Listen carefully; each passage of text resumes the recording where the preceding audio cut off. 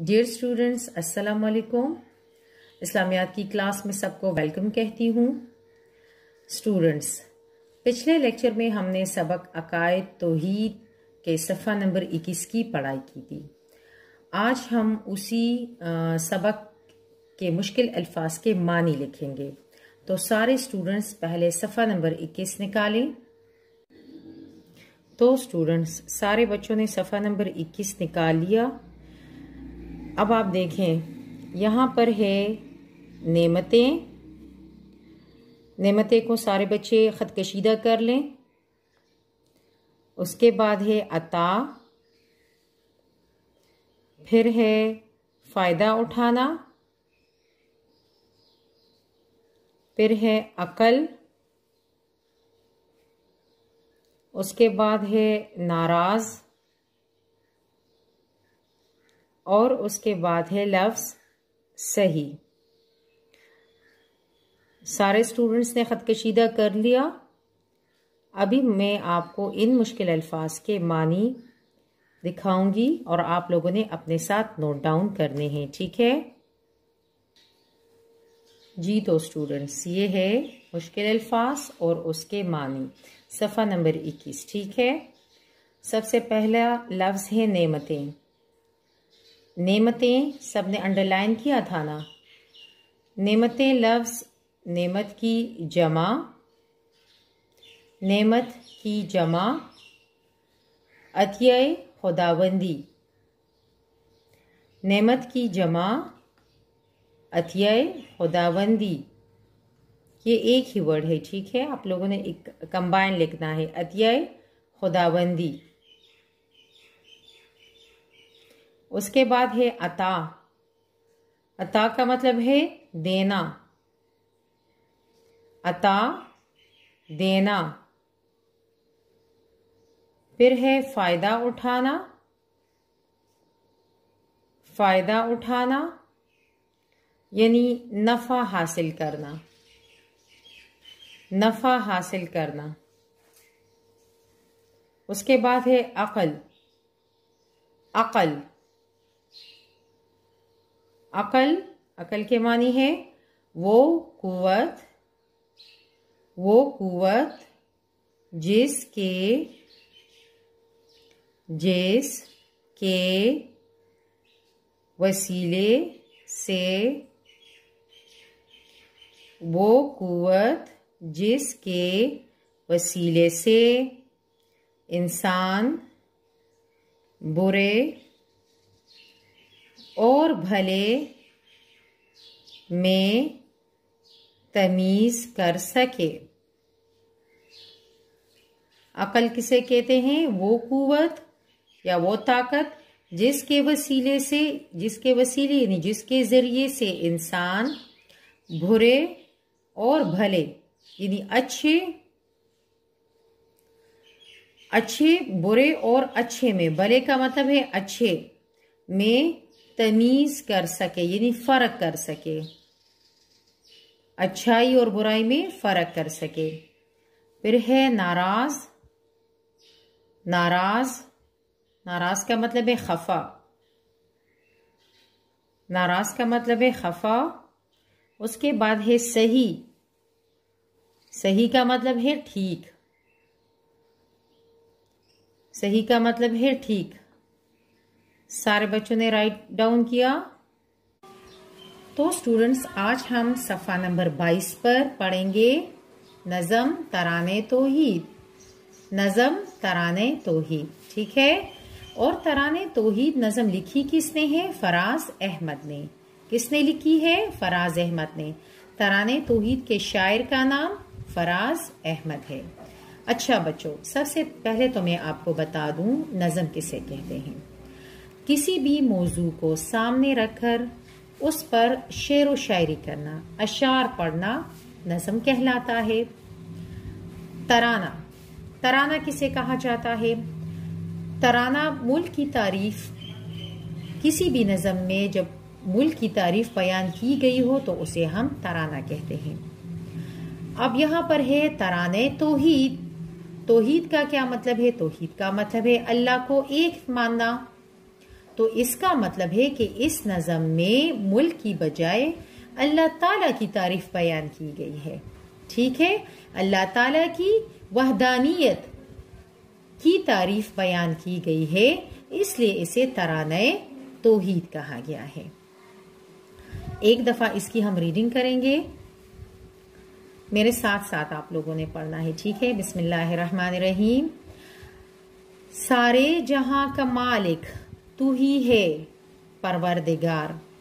सारे जहाँ का मालिक, तू ही है परवरदिगार।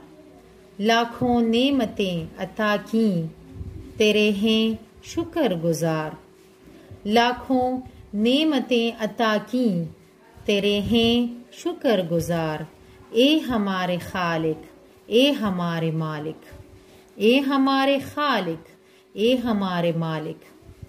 हर शे में आया है। हर शे में आया है, तेरी कुदरत के निशा। हर शे में आया है, तेरी कुदरत के निशा। हमारी कोताहियों का तू ही राजदा। हमारी कोताहियों का तू ही राजदा। ए हमारे खालिक, ए हमारे मालिक। रहमान है, रहीम है रहमान है, रहीम है, तेरी अता है हम पर।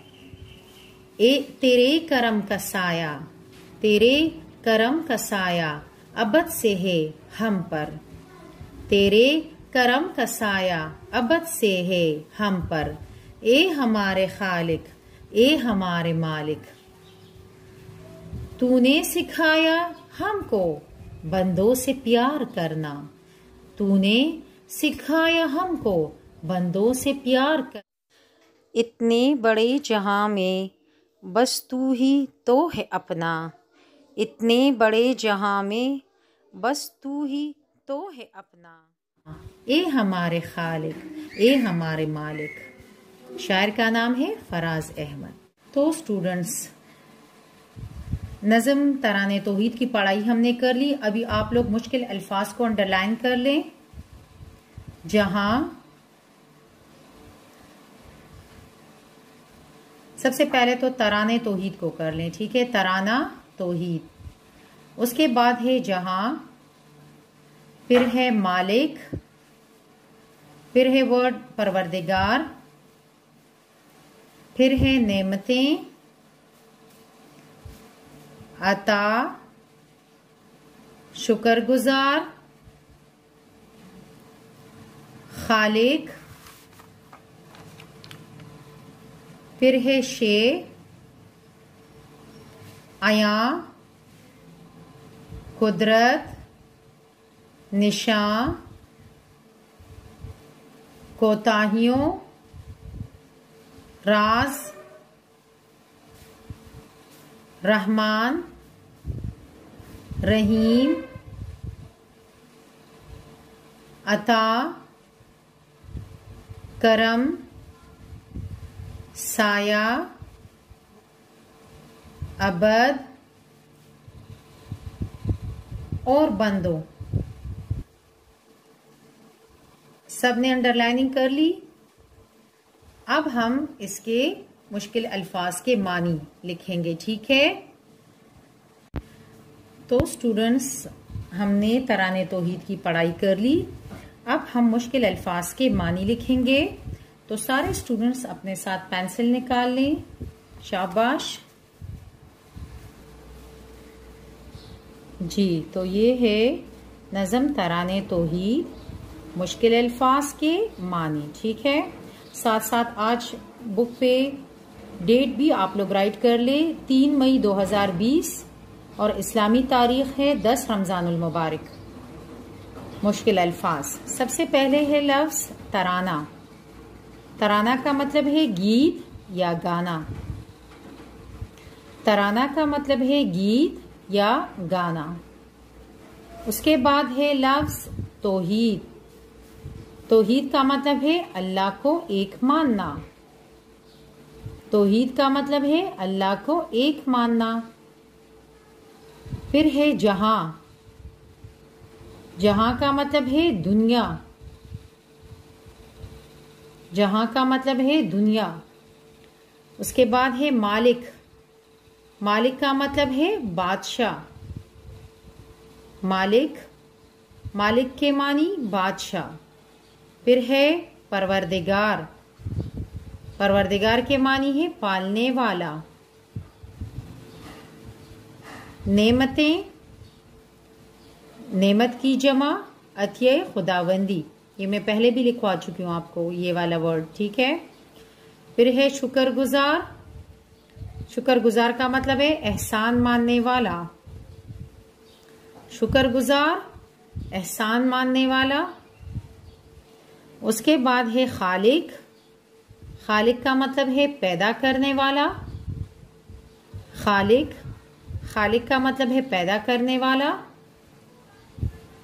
अच्छा अब है शे। शे के मानी है चीज़। शे, चीज़। आया आया का मतलब है ज़ाहिर। फिर है कुदरत। कुदरत के मानी है ताकत। निशा। निशा के मानी है अलामत या आसार। फिर है कोताहियों। कोताहियों का मतलब है खताओं। उसके बाद है राज। राज का मतलब है पोशीदा बात या छुपी हुई बात। फिर है रहमान। खुदा ताला का नाम है। अच्छा रहमान, खुदा ताला का नाम है मेहरबान। रहमान के मानी है मेहरबान। रहीम, ये भी खुदा का नाम है। अच्छा ये भी खुदा ताला का नाम है और इसके मानी है रहम करने वाला। फिर है अता। अता का मतलब है देना। उसके बाद है करम। करम के मानी है इनायत। फिर है साया। साया के मानी है छाओ फिर है अबद। अबद के मानी है हमेशगी। अबद। अबद के मानी है हमेशगी।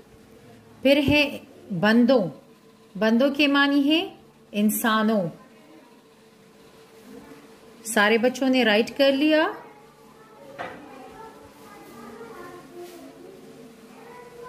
चले, अब सब अपना होमवर्क भी नोट डाउन कर लें। तो स्टूडेंट्स होमवर्क आप लोगों का है नज़म तराने तोहीद के पहले दो बंद, यानी छह सतूर जबानी जायजे के लिए याद करें। ठीक है? अभी मैं आपको समझाती हूँ कि आप लोगों ने किस तरह लर्निंग करनी है। ये है नज़म और इसमें एक, दो, तीन, चार, पाँच छ ये छह सतूर, यानी ये दो बंद हो गए। एक, दो, तीन, ये एक बंद, एक, दो, तीन, ये दूसरा बंद। दो बंद, यानी छह सतूर आप लोगों ने होमवर्क में लर्न करने हैं। ठीक है? सिक्स लाइंस आप लोगों ने लर्न करनी है। ठीक है?